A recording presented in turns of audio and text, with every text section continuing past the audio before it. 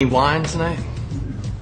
Uh, we'll have your second cheapest wine. Very good, sir.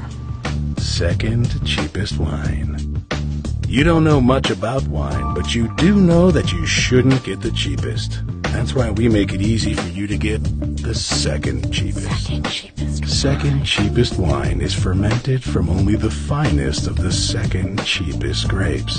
We'd elaborate, but you'd have no idea what we're talking Second about. cheapest wine. Yep, it's it's wine. Second cheapest wine is in the front of all wine stores, so you don't have to search while the clerks obviously judge you. 2004.